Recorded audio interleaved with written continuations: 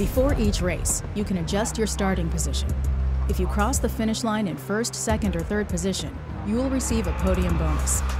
The size of the podium bonus depends on your starting position and difficulty settings.